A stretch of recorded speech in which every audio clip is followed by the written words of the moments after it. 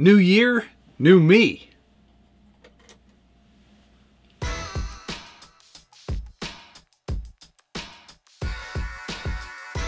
Welcome back to the Scale Builders Guild. Thanks again for watching. It's episode 74 of What's on the Bench Weekly.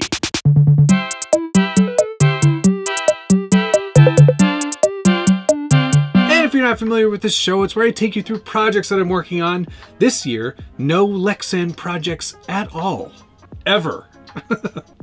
Man, I don't know how long that's going to go, but hopefully longer than four. But here we are. It's uh, 2024 now. Welcome. I uh, hope you had an enjoyable holiday season and uh, right back on the bench. And uh, what better thing to start with than this thing?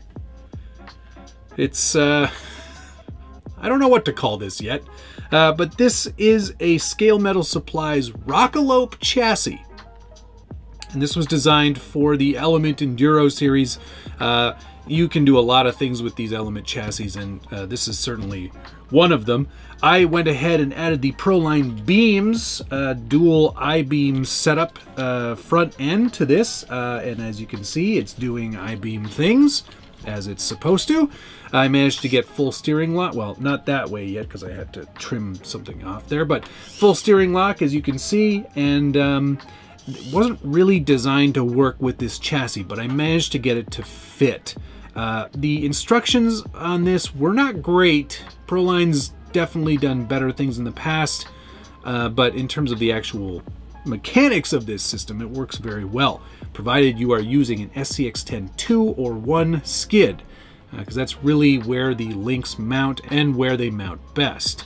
Uh, as you can see, that's what I'm running here, SCX-10 2 chassis skid, um, but the plan because this wouldn't be the Scale Builders Guild if I wasn't doing something dumb, is to take a VFD transmission and cram that in there somehow. Um, obviously, it doesn't fit right now because there is no way to securely mount a VFD to an SCX-10 skid. Uh, there is one available on Shapeways, but I'm going the easy route. That was easy. By making Josh design one for me. Uh, he should have that ready in the next couple of days, and then I'll plop that VFD in, most likely with the stubby kit. Uh, so we uh, will have to do some sort of fast outrunner motor in order to make this all work. Um, but that's sort of where the plan stays for now. What we've got here is the Zuul trailing arm setup with the sway bar as well. Um, and all of that's mounted up to a TRX4 axle. Yes, uh, portal less. It's been portal deleted thanks to SSD's kit. And uh, we've still got the cable here for being able to shift that unlockable diff on the fly. Um, these obviously, these these kinds of, I don't know, what do you, trophy trucks, I guess you could call this. Uh, lots of rear suspension, lots of front suspension. Uh, we're to have more weight over the back by putting the battery up here um, from the Beams kit. Uh, but I want to have an unlocked rear diff just to give it a bit more control. At least I hope that's what's going to happen. Obviously, there is no drive to the front wheels. That's uh, fully just independent um, freewheeling action. Uh, so yeah, this is sort of where this sits right now. You may also notice the Longzhu um, bypass shocks. Uh, I'm literally just putting those on for show. I'm not actually going to run them as a shock at all. Uh, we're just going to keep them dry and use the actual included element shocks for actual shock duty. Duty. Uh, but yeah, there you go. That's sort of where this project is. Actually, there's more to it than that. Uh, this is the Falken Wildpeak and uh, Roost setup that I stole off the Porsche back there. Uh, but it won't be running a Porsche body. Um, I started printing out this Ford F-150 Ranger XLT. I think it's like a 1980 model, so it's uh, bullnose, I think. Um, Richard told me that. I, I don't honestly know a lot about these old square pickup trucks. But you'll notice that this body is comically large. Um, it is 10th scale, but it's not. It's way bigger than that. The wheelbase is something very comical and actually looks kind of hilarious on there because it's so big. I don't I don't think this is going to work. I think it's too much body. Um, I mean, I can make it work, but it just seems like there's not enough rear overhang. Like it just kind of looks a bit silly. I wanted it to tuck. It definitely tucks, but it just seems like it's it's too much. It just seems too big.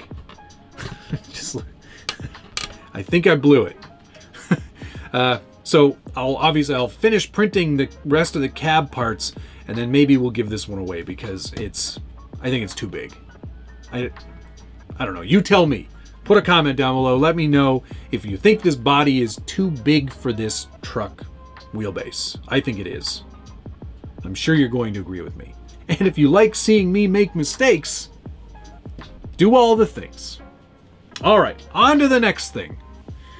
No Lexan yet. Speaking of no Lexan, here's more no Lexan. Uh, this is the Hilux cab that I've been working on for my mullet chassis.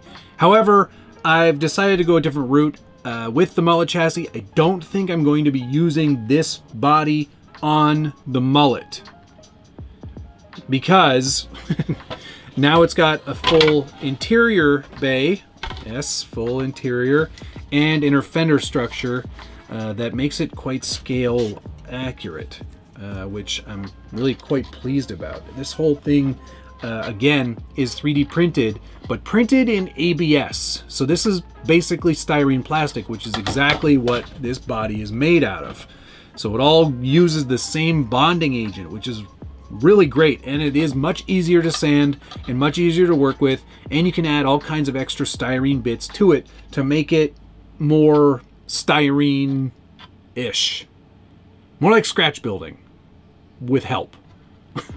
uh, but yeah, I'm really super excited about all of these parts. Uh, I think I found these files on Thingiverse. I'll, I'll track down where I found those files and I will put them in the link down below uh, so you can download them and print them yourself as well.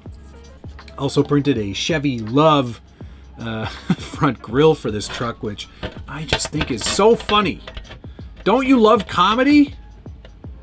Don't you think comedy is funny? Hit the comedy button. All right, so that's uh, where this is at. But I don't really know what I'm going to do with this yet. My, I think, and I'm not, I think I'm going to put this on a VS410. Uh, I have a Pro chassis upstairs uh, that hasn't been built yet and uh, it could use a hard body. I think I'd like to do that, so maybe I'll do that. I, I don't know. I haven't cut any of the fenders yet or anything. I've kept it pretty pretty chill on this one so far. Um, of course, I ruined the, the tailgate for the mullet, so that's going to stay on there. But we're going to do something else on the front, and I think it's going to be something Toyota related as well. If you have any ideas about what I might be putting there, put a comment down below. So that's where that's at. I'm really happy to be able to print in ABS. Uh, the Bambu Labs X1 Carbon is a fantastic 3D printer, one I cannot recommend more. Uh, printing in ABS is so easy and so efficient, and it turns out so good. Like, it's like, it's so good. I can't get over it. It's really, really, honestly, it's it's a printer that's changed the hobby for me and made it even more good. More gooder. Okay, on to the next thing. A week or two ago on Instagram, I put out a request asking if anybody had seen a shipping container that was like used to transport someone's drift car around. RC, of course. It's sort of like a carrying case, but it looks like a shipping container.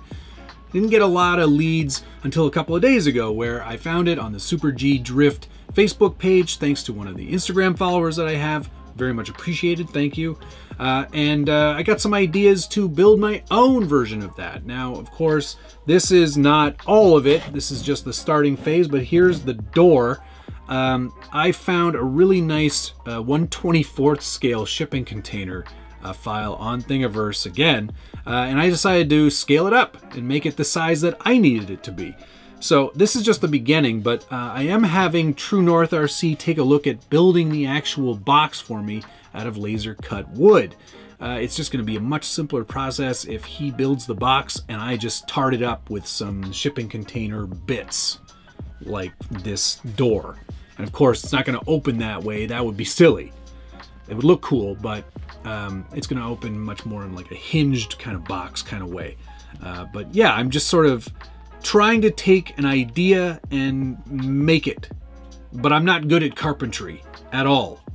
Putting that sign together took me forever. and there's just a wood frame on the back of it.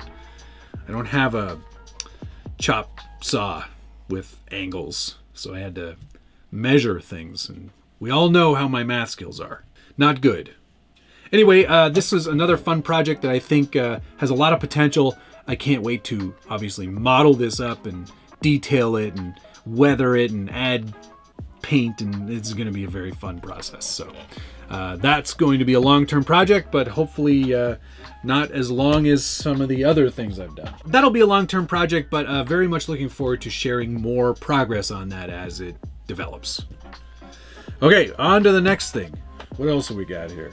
Oh, earlier on December 31st, before it got into Lexan territory or not working with Lexan territory, I did lower the uh, Jeep CJ from Axial.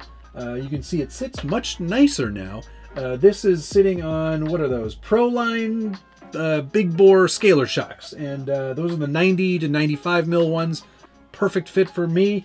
Uh, you will obviously get a tiny bit more, maybe, well, maybe not actually. I don't think it'll actually rub at full lock and at full uh, full compression because that sits quite compressed. I think it looks a lot better that way, but uh, can't make any more changes to that unless we change that. And I'm not doing that. Lastly today for what's on the bench, this box from Killerbody. This is the Mercury 110th high simulated remote control car chassis built for the Jeep Gladiator body that they did. Hard body, I might add. No Lexan here, sir. Uh, but yes, uh, this comes pre-assembled axles and gearbox. The rest of the assembly is up to you. Proper suspension setup for the Gladiator too. Uh, it doesn't have rear leaf springs. There are two options, this one and the one for the LC70. Obviously this one's for the Jeep. Inner fenders, it looks like there are inner fenders included as well, and wheels and tires. Uh, so this really is a nice full package for that body. I'm very excited to put this together, uh, but I think we'll do that on a live stream, maybe this Saturday morning uh, for all of my European friends who aren't in my time zone. So stick around for that. That's going to be a good one, I think. Um, I don't really do unboxings, and I'm not going to per se, uh, but as you can see, there's lots of great features here. Uh, jaw-type differential locks. I wonder if they're actually... Oh yeah, it's a remote diff. That's pretty cool. Uh, four-wheel drive, rear-wheel drive shifting transmission, two-speed transmission, uh, front suspension's three link with uh, suspension coil springs. Uh, rear suspension is a four link with damper cylinders. Uh, there's room for a battery tank. Uh, yeah, so this looks like it's a pretty full package. Very excited to put this together. I'll make sure to have all the electronics and everything, including the shocks, built on the live stream. So I hope you'll stick around for that. Uh, did I mention wheels and tires? It includes wheels and tires. I don't know if that's an add-on or not, but there's some heavy weighted rims in there, uh, and they do have that sort of Jeep Gladiator look. This is really great. I'm really super excited to put this together. Uh, so yeah, watch for that. That'll be coming very soon. And with that, I think that's going to do it for this episode of What's on the Bench. Thank you so much for watching, and of course, we'll see you again next week.